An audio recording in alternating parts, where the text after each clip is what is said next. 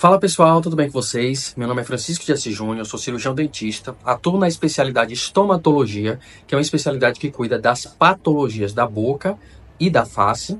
É uma especialidade pouco conhecida, né? Existe algo em torno de 1.200 espe é, especialistas em estomatologia no Brasil e muita gente não conhece. Então essa é uma das especialidades que cuida da síndrome da ardência bucal, é uma patologia em que a pessoa sente a boca arder, uma sensação de queimação, de pimenta, de dor, de incômodo na boca, principalmente na língua, mas também em outras partes da boca, que eu vou mostrar para vocês quais são as principais partes envolvidas, sem uma causa explicação, sem uma, uma causa que explique essa, essa sensação. Então a pessoa olha, não tem ferida, não tem aspecto de infecção, não tem aspecto de queimadura, mas ela sente a boca arder certo? E isso incomoda muito, afeta a qualidade de vida, entre outras coisas. Vocês vão entender que a síndrome da ardência bucal ela tem três tipos diferentes e vocês vão entender quais são os tipos. Eu vou falar também sobre os principais tratamentos, os tratamentos mais avançados, mais modernos e que tiveram melhores efeitos, tá certo? E também eu vou falar para vocês como chegar a esse diagnóstico, que é um diagnóstico de descarte. Nem toda vez que você vai sentir sua boca arder é porque é uma síndrome da ardência bucal. Quando a gente descarta todas as outras possibilidades para ardência na boca, aí a gente trabalha com a hipótese de síndrome da ardência bucal ou síndrome da boca ardente. Pelas diferentes nomenclaturas, você tem uma, uma dificuldade de estimar a quantidade de pessoas acometidas por essa patologia a nível mundial. Então, as estimativas é, variam de 0,7% a 15% da população mundial. E elas são ainda mais prevalentes em populações de idosos e mulheres, principalmente pós-menopausa. Mas por que pós-menopausa? Eu vou falar tudo, gente, que eu sei sobre a síndrome da ardência bucal, toda a minha experiência no tratamento dessa patologia e toda a minha atualização dos tratamentos mais modernos nesse vídeo, tá certo? Mas antes disso, eu vou pedir para você se inscrever no meu canal para que você não perca nenhum conteúdo a partir de hoje. E curte esse vídeo se você acha que é um vídeo relevante, interessante, que mais pessoas têm que saber sobre esse tema. Compartilha com quem você acha que já falou sobre isso para você, que já relatou esse sintoma, esse incômodo, que não melhora por nada. Então, compartilhe esse vídeo para que essa pessoa conheça melhor o que, é que ela tem, tá? E agora vamos às informações. Como eu já expliquei para vocês, gente, a síndrome da ardência bucal, ela tem as áreas de maior prevalência. Vou mostrar uma imagem aqui para vocês.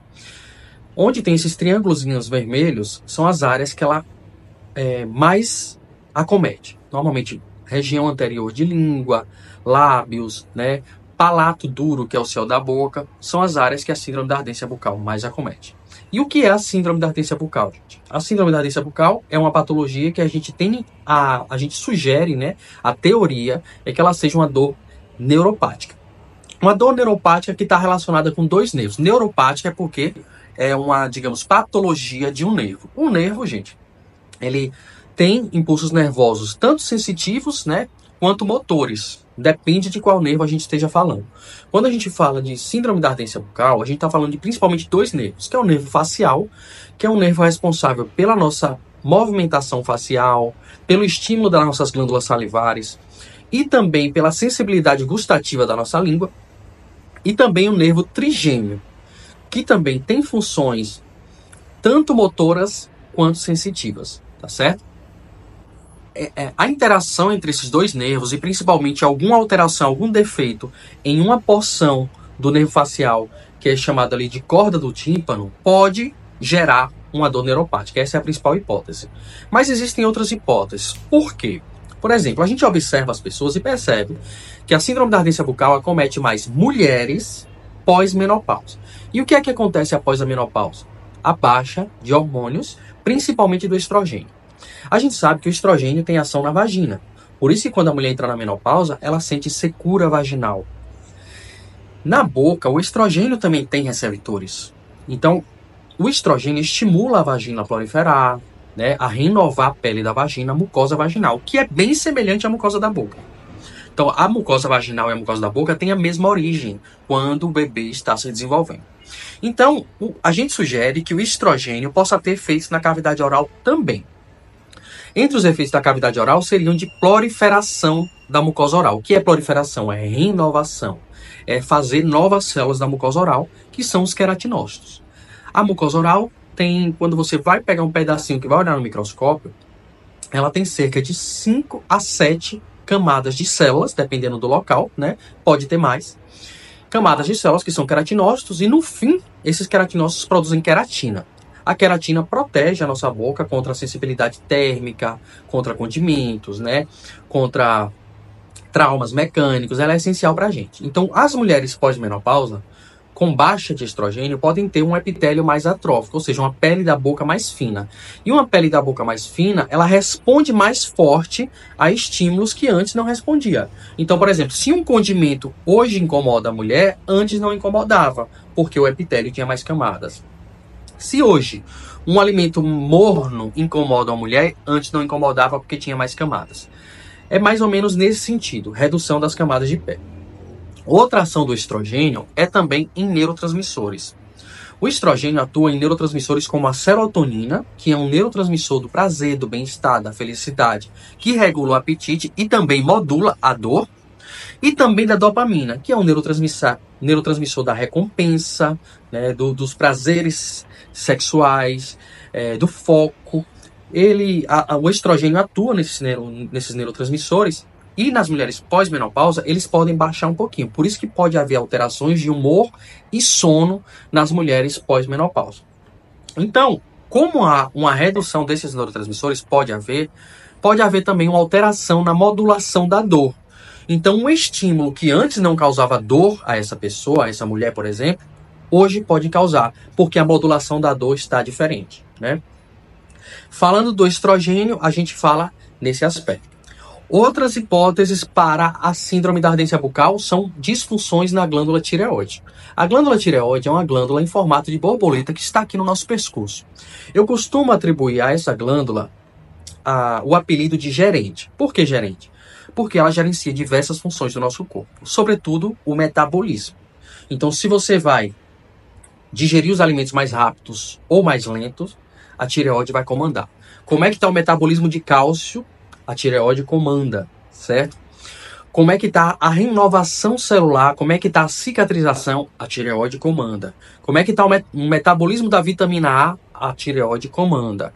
Como é que está a renovação celular da boca? A tireoide comanda. Como é que está as papilas gustativas? A tireoide comanda.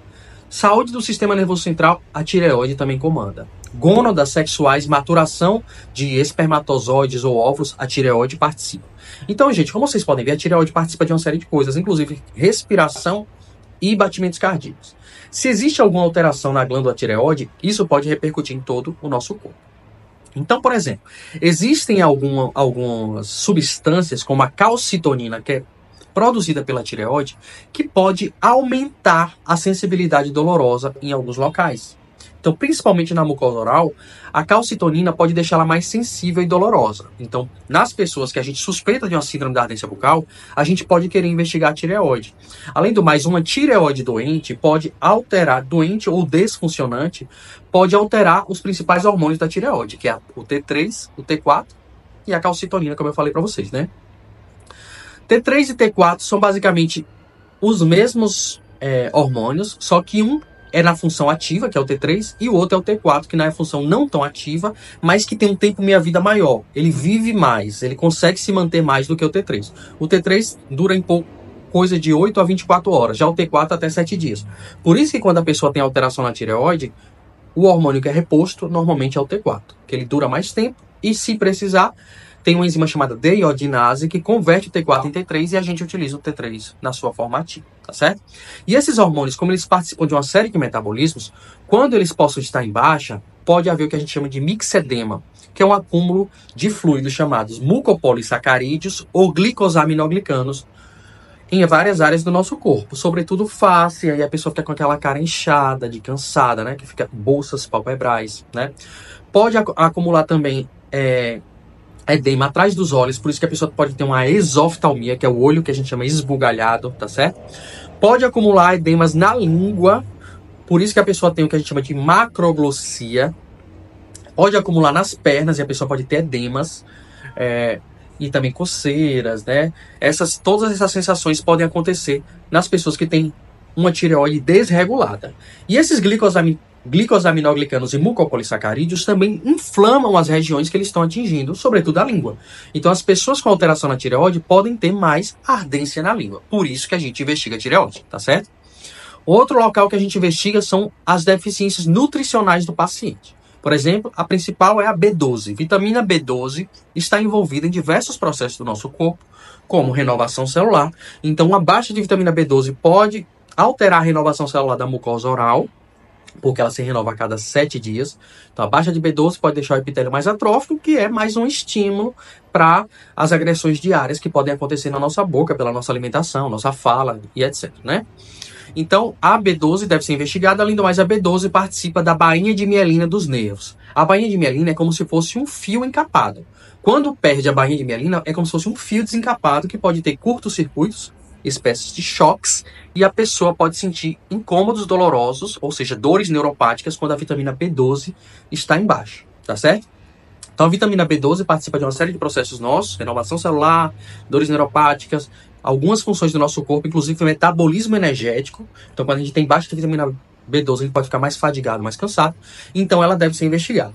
E quando a gente investiga B12, a gente também investiga B9. Porque para repor B12, às vezes a gente tem que repor B9, porque elas participam de processos metabólicos semelhantes. E a vitamina B9 nada mais é do que o ácido fólico, o conhecido ácido fólico. Então a gente também pode solicitar a vitamina B12. Além do mais, a gente solicita também o zinco. O zinco é um mineral que participa das renovações celulares, reduz inflamações de pele, pode participar também dos processos de redução de doenças inflamatórias intestinais, como por exemplo diarreias. Ele pode ajudar a amenizar isso. Nossa imunidade também. E o zinco também, ele participa, gente, do, da condução do impulso nervoso das papilas gustativas. Então, quando a pessoa tem zinco em baixa, ela pode sentir um gosto amargo na boca ou não perceber bem o sabor dos alimentos e pode até confundir com ardência na boca. Por isso que a gente também pode saber como é que está o zinco dessa pessoa, certo? Ferro. Ferro é também um mineral essencial, certo, gente? Um metal essencial para a gente. Por quê? Porque o ferro ele participa da formação de células sanguíneas. Ou seja, a hemácia, que é a principal célula sanguínea, no meio dela vai ter a hemoglobina, que é uma parte da hemácia que leva oxigênio para todo o nosso corpo. Nessa hemoglobina tem o ferro. É o ferro que se liga ao oxigênio e leva para todo, todo o nosso corpo. Quando a pessoa tem baixa de ferro, ela pode ter um quadro que a gente chama de anemia, além da B12. A B12 também participa disso, certo? A B12 participa de produção de células. Então, o ferro a pessoa pode ter uma anemia. Aí pode ter áreas menos oxigenadas, porque tem menos ferro, tem menos condução de oxigênio. Por isso que algumas pessoas com anemia podem sentir formigamento em pernas, né? As extremidades podem ficar mais arroxeadas. E na boca, ela pode sentir ardência, porque justamente a anemia, que é pode ser a baixa de B12, ferro ou deficiências nutricionais, deixa o epitélio mais atrófico, oxigena menos a área, altera o pH porque o ferro, uma área que é menos oxigenada, ela precisa do ácido lático para produzir oxigênio. E o ácido lático deixa a região mais ácida. E aí também altera o pH e pode gerar sintomas de ardência na boca da pessoa, né? Que as áreas que podem ser menos oxigenadas, menos privilegiadas, podem ser pés, mãos, boca. Porque quando tem anemia, o corpo é inteligente. Ele vai dizer, eu vou privilegiar áreas que são essenciais para manter essa pessoa viva. Quais são as áreas? Cérebro, dos principais órgãos, da digestão, coração, pulmões, fígado. Então ele privilegia essa área e as outras áreas ficam menos oxigenadas. Então a anemia pode gerar também uma ardência na boca, tá certo? Então, entre outros nutrientes que a gente pode investigar, caso a gente vá vendo uma coisa ou outra, vai descartando ou trabalhando com essa hipótese, né? Tem o ácido ascórbico, que é a vitamina C. O ácido ascórbico pode estar envolvido em estímulos de ardência na boca como o próprio nome já diz, ácido, né? A baixa de ácido ascórbico está relacionado com a perda de colágeno, certo? Então as pessoas podem ter doenças que hoje são mais raras, como o escorbuto, né? Que era bem famoso pela baixa de vitamina C, que é o ácido ascórbico, né? Que ela dificulta a cicatrização quando está em baixa, né? E a pessoa pode ter esses sangramentos, essa perda de estrutura, da, na, principalmente na boca. Mas em excesso ele também pode gerar ardência. Por isso que a gente também pode solicitar é, esse nutriente que é o ácido ascórbico, tá certo? Como eu expliquei para vocês, tem outros que a gente investiga a partir das demandas que o paciente traz na consulta. Além de tudo isso, gente, a gente também vai investigar como está a saúde mental do paciente. Pacientes que vivem sobre estresse crônico, ansiedade, podem baixar um principal neurotransmissor que é a serotonina. como eu expliquei para vocês, é um neurotransmissor do prazer, do bem-estar, da felicidade. Quando esse neurotransmissor está em baixa, a pessoa fica menos tolerante à dor. Então, estímulos que antes não causavam dor, hoje causam dor. A pessoa pode ter aumento do apetite, pode ter alteração no sono, e no sono é essencial para diversos processos nossos. Quando pensamos em fatores locais, o que é que a gente deve analisar? Saliva. A quantidade de saliva do paciente produzida é suficiente? A gente tem parâmetros para saliva estimulada e não estimulada. Qual é a diferença das duas? A saliva estimulada é aquela que você produz mastigando algo, que é o que a gente chama de cialogogos mecânicos, ou sendo estimuladas por cialogogos químicos, como por exemplo um, um, o ácido cítrico, por exemplo, ou a bromelina, ou substâncias derivadas do abacaxi, podem estimular a salivação, ou sentindo o odor de um alimento, ou falando, ou ingerindo líquidos, tudo isso vai estimular a salivação. Os parâmetros da saliva estimulada normais são de 5 a 15 ml a cada 5 minutos. Então, se o paciente tem níveis abaixo disso, a gente vai ver se é níveis leves, moderados ou severos. Outra questão seria a saliva não estimulada. Na saliva não estimulada, o paciente fica em repouso, sem falar, sem sentir odores, é, sem ingerir líquidos, e toda a saliva produzida vai ser cuspida, né, para a gente analisar a quantidade. Então, os valores têm que ser em torno de 1,5 ml em 5 minutos. Valores abaixo disso, a gente vai ver se são leves, moderados ou severos. Tem um vídeo anterior a esse que é sobre boca seca. Vou deixar aqui a sugestão para vocês, para vocês irem lá tirar essas dúvidas com relação a isso, tá certo? Outra questão, gente, é a alteração na composição salivar. A saliva tem diversos componentes. Vou deixar aqui uma, uma tela para vocês verem mais ou menos o que é que tem na saliva, tem muita coisa. Então, alguma alteração na composição da mucina, da lactoferrina, por exemplo, da albumina, pode gerar mais desconforto na boca. E aí o paciente pode sentir sintomas de ardência na boca. Outros fatores locais, além da, da saliva, gente. Por exemplo, um paciente que possa ter um refluxo ou uma gastrite. Normalmente, a bactéria que está presente numa gastrite provocada por uma bactéria é H. pylori, que é chamada de Helicobacter pylori. Tem em torno de cinco cepas da, da H. pylori, certo? Podem ter mais. Algumas delas estão relacionadas com câncer de, de estômago, câncer gástrico, né? Mas outras estão relacionadas somente com inflamação que gera uma gastrite. Num paciente que tenha gastrite e refluxo associado, muitas dessas bactérias podem vir parar na boca. E a Helicobacter pylori, né, que é a H. pylori, junto com outras bactérias que estão presentes na microbiota oral, por exemplo, a Prevotella, a Treponema dentícola, Porphyromonas gingivalis, podem aumentar a incidência de ardência na boca. E aí a gente também pode fazer análise de microbiota oral para saber quais, micro, quais bactérias estão crescendo ali, se elas possam estar relacionadas com essa ardência na boca, tá? Como eu tinha falado para vocês, gente, sobre os fatores psicossomáticos, né? A baixa de hormônios como dopamina, serotonina estão relacionados com sintomas ansiosos e depressivos. Isso também pode afetar o sono. No sono tem um ciclo circadiano onde acontece uma série de coisas no nosso corpo. Então, produção de hormônios como GH, né? testosterona, serotonina. Então, paciente que não atravessa pelos estágios do sono corretamente, cada ciclo de sono dura 90 minutos, que vai ter a fase do sono leve, sono profundo, sono REM, sono NREM.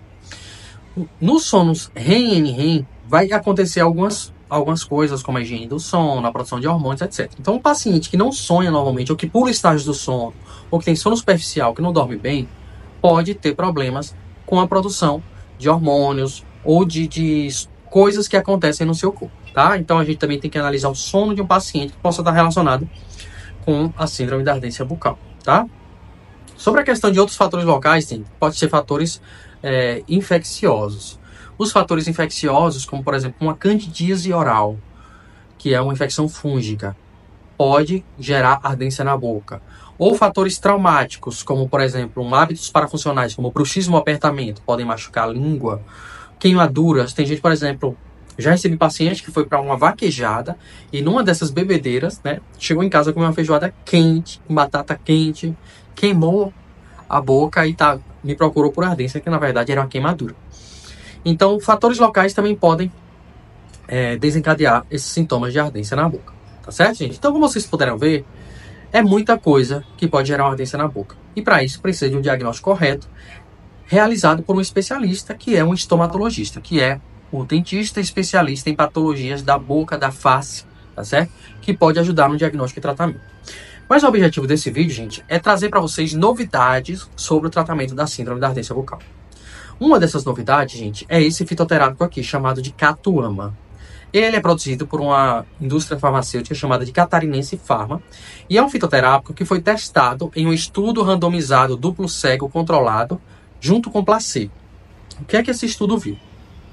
Foram separadas algo um pouco mais de 70 pessoas, algo todo de 78 pessoas com diagnóstico de síndrome da ardência bucal. E essas pessoas foram separadas em grupos. Esses grupos não sabiam o que cada um estava usando para o tratamento da síndrome da ardência bucal. É por isso que a gente chama duplo cego, que são dois, du dois, duplo, dois grupos. Cego porque ninguém sabe o que é que está sendo tratado, né? qual, qual é o princípio ativo que está usando. Controlado, porque você controla tudo que está acontecendo com esses grupos. Por exemplo, eles estão tomando esse, não podem tomar outro. Não podem fazer isso. Para tipo, não, não ter um viés desse tratamento. Então, esse estudo randomizado duplo cego controlado evidenciou que os pacientes em uso da catuama eles é, tiveram uma redução nos sintomas de ardência bucal algo em torno de 51%, tá certo? Dos sintomas de ardência bucal, contra 18% do placebo. O placebo, digamos, é um, uma substância feita com essência semelhante, mas que não tinha efeitos terapêuticos. E a pessoa que tomou, o grupo que tomou, teve 18% na redução das ardências, da, da, dos sintomas de ardência bucal, que tem efeito psicossomático, né, psicológico. Já o grupo que tomou o fitoterápico, além do efeito psicológico, teve efeito terapêutico, que foi uma redução de até 51% nos sintomas de ardência bucal. Então, esse fitoterápico chamado Gatoama pode ser utilizado, uma das formas de tratamento, para a síndrome da ardência bucal. É, inclusive, eu já cheguei a indicar para alguns pacientes meus, mas o que é que eu percebi? Dificuldade de encontrar. Então, as pessoas estavam com dificuldade de encontrar, não encontravam em grandes redes de farmácias, então o que é que eu fiz? Eu disponibilizei esse fitoterápico aqui na loja virtual vinculada ao meu canal, que é a Faz Saúde. Muitas vezes, quando eu estou fazendo um vídeo, aparece uma sacolinha aqui do lado, que é muitas vezes dos vídeos que eu estou sugerindo aqui, do, dos produtos que eu estou sugerindo aqui nos meus vídeos. Vocês podem clicar nessa sacolinha, então embaixo aqui do vídeo vai aparecer né, a logo da, da, da loja ou direcionando vocês para a loja. Caso não apareça, eu vou deixar aqui o site, que é façaúde.com. Aí vocês podem fazer a aquisição e a entrega é feita em todo o Brasil. E, inclusive, tem a instrução de uso né, do catuama, que normalmente, nesse estudo, foi feito duas doses ao dia. Então, tem a cápsula e tem o, o líquido. No líquido é 25 ml duas vezes ao dia, preferencialmente antes das refeições.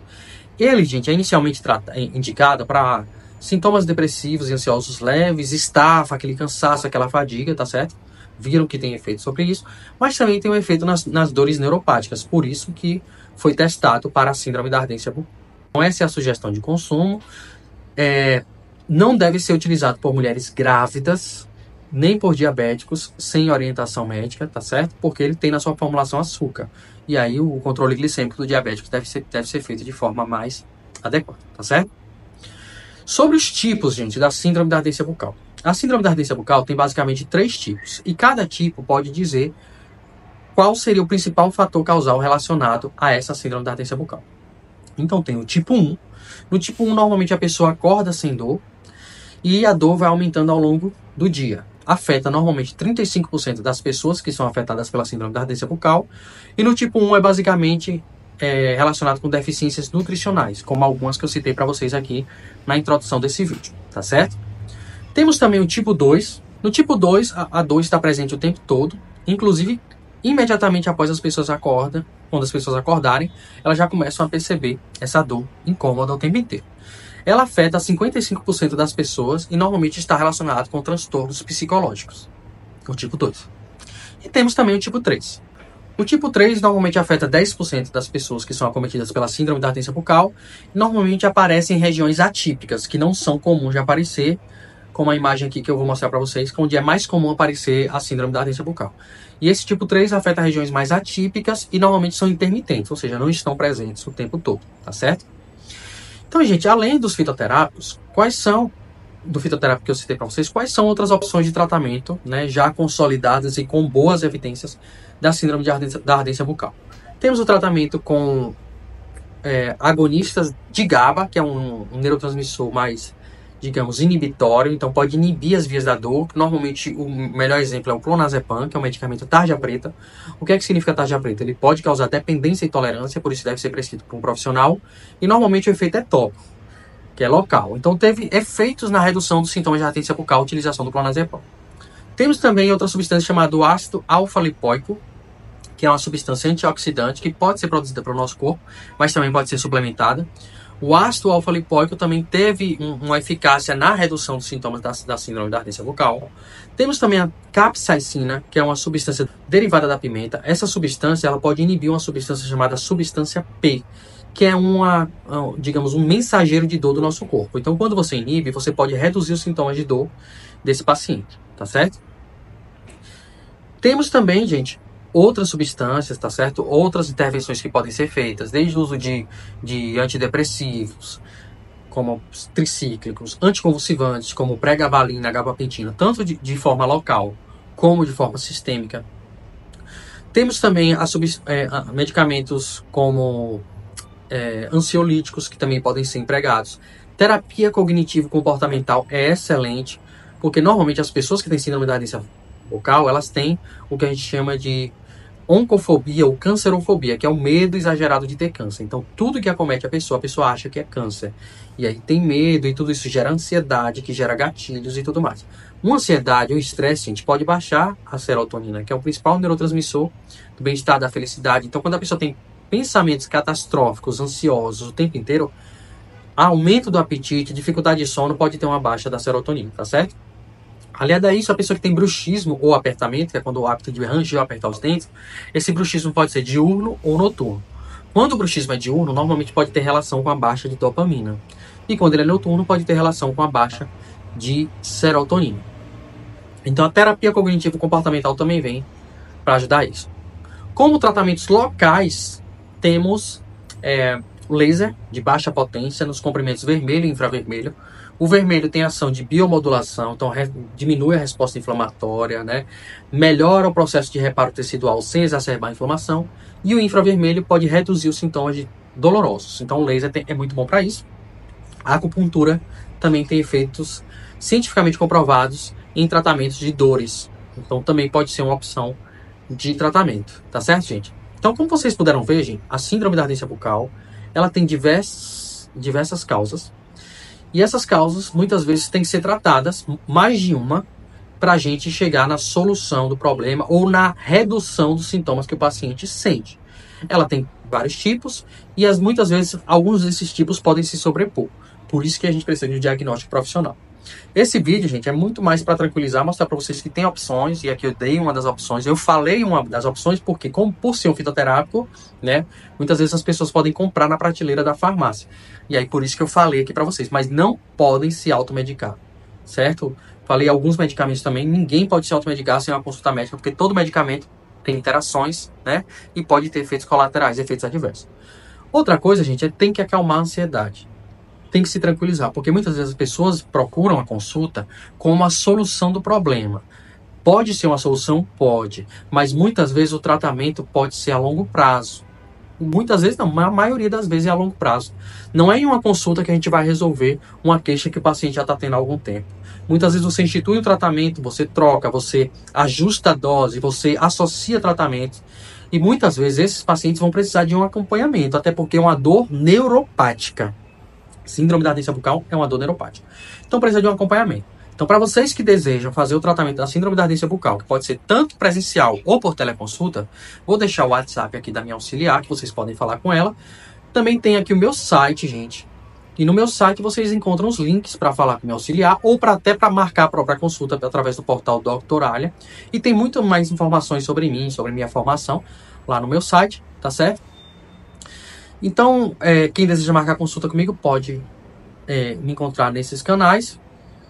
Eu espero, gente, que eu tenha ajudado vocês nesse vídeo, tá certo? Se ainda restar alguma dúvida, deixa aqui nos comentários. Se inscreve no meu canal para que não perca mais nenhum conteúdo a partir de hoje. E até o próximo vídeo.